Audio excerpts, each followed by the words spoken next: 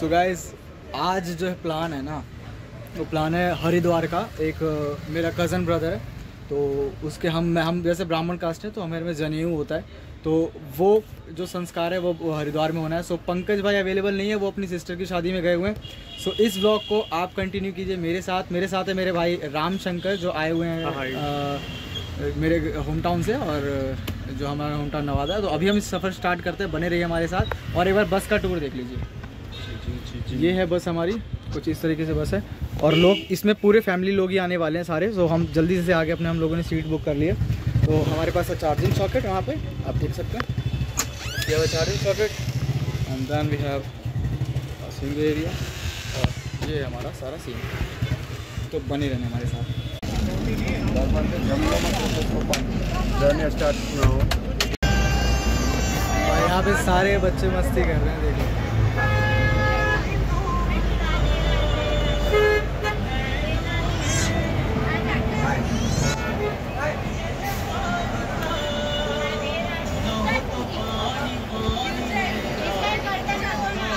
So finally we are start from there and मेरी mom मेरे साथ में जा रही है ट्रैवल कर रही है भाई भी ट्रैवल साथ में कर रहा है। तो अब जर्नी के मज़े लो जो शॉर्ट्स आएँगे वो आप लोगों को देखना है। और सामने से। अच्छा पूरी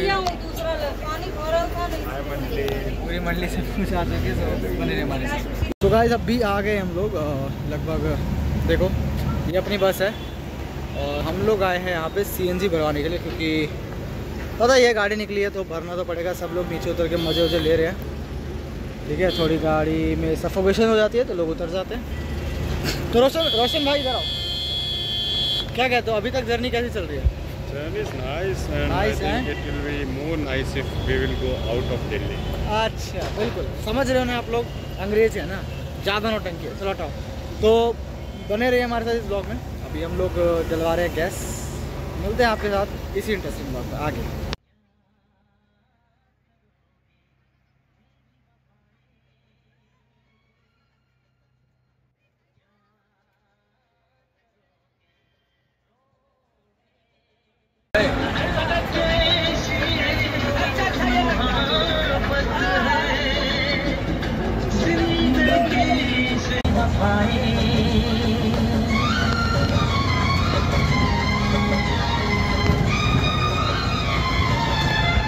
भाई खाना भी स्टार्ट हो चुका है।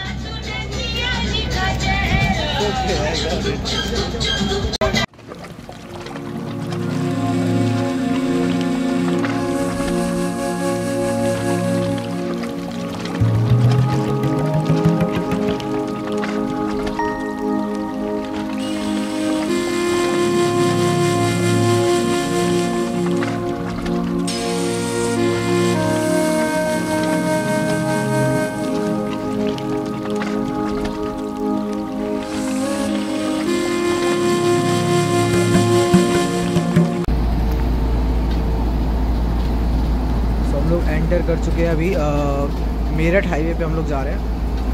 और रात के लगभग जो समय हो रहा है, वो हो रहा है लगभग डेढ़ बज रहे हैं। और क्योंकि एक अपना भाई है यहाँ पे, ये खलासी भाई सो गया था तो मैं यहाँ पे आ गया कि भाई ड्राइवर भाई के पास में कोई वैसा बंदा नहीं होना चाहिए जो कि सो जाए। तो we are responsible guy so आप देख सकते हैं। मेरठ और मेरठ का ब्लॉग भी आप लोगों ने देखा ही है। मेरठ भी हम लोग हैं। हाँ। ये मेरठ भी हम लोगों ने ट्रैवल किया है। तो हमारे साथ काफ़ी एक्सपीरियंस ड्राइवर हैं और काफ़ी लंबा एक्सपीरियंस है इन्हें। काफ़ी मज़ा आ रहा है अभी तक। काफ़ी जो बस है वो भी बहुत अच्छी है। और यहाँ देखोगे पीछे तो लोगों का जो शोर है वो भी शांत हो चुका है। शांत हो गए लोग। अब सारे लोग सोने सोने और आराम करने के टाइम चीज़ पे आ गए। बने रहिए हमारे साथ। इसी तरीके से ब्लॉग में आगे। और मिलते हैं अब सुबह सीधे आपके पास, हरिद्वार से।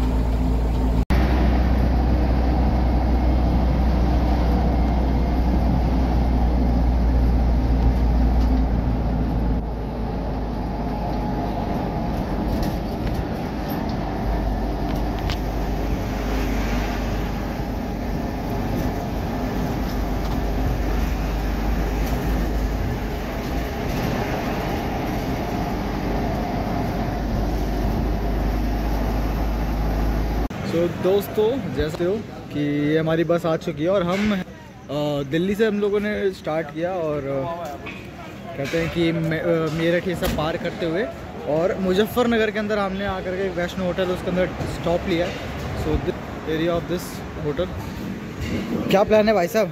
क्या लेना है? क्या लेना है? तंदूरी चाय। अरे भाई हिंदी में हम बोल सकते हैं भाई। तंदूरी चाय पियेंगे हम लोग यहाँ यहाँ के स्पेशल है। गरम करके उसमें बनाई जाती है। तो टोटल तंदूरी चाय पीने का प्लान है क्योंकि भाई रात के बज रहे हैं कम ढाई के आसपास। तो ढाई बज रहे हैं और थोड़ी सी नींद बहुत से लोगों के पास में तो आधे लोग तो बस से उतरे ही नहीं है। कुछ कुछ उतरे आधे ज़्यादा तो उतरे ही नहीं। लोग सो रहे हैं। सब सो रहे हैं। तो चलिए जल्दी से आपको चाय लेके आते हैं है ना? आ जाओ। चाय वाय का प्रोग्राम नाश्ता तैयार हो रहा है देखो।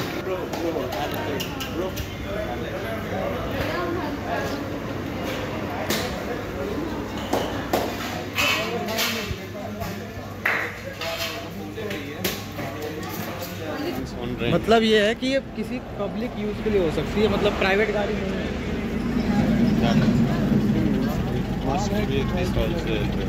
जितनी भी आपको पब्लिक गाड़ी दिखेगी ना जो भी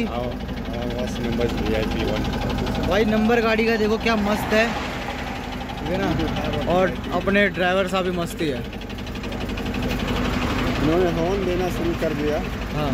और हम लोग अभी चाय पी ही रहे थे। टॉयलेट करने को गया ये तो चलिए अभी हम पहुँचते हैं अपनी बस में दोबारा से और इंजॉय करते हैं जर्नी को दोबारा।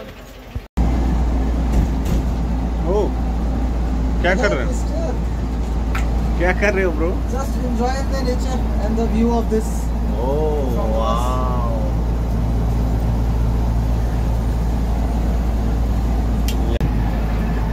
ये क्या? एंजॉय करते करते सो गए ब्रो हेलो ब्रो अरे कैसे एंजॉय करते हैं ब्रो सो गए ब्रो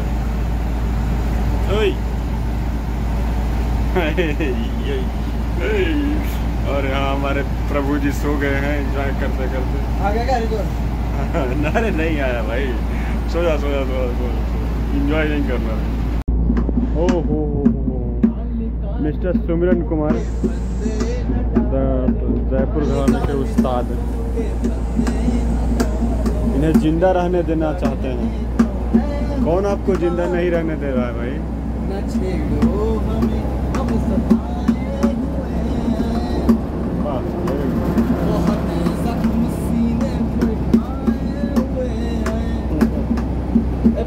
अरे दिखाइए सीना एक बार दिखाइए कितना जख्म है देखना चाहते हैं। दर्शक ओ। नहीं due to due to visuals he can't show a blog आप लोग लाइक कर दीजिए please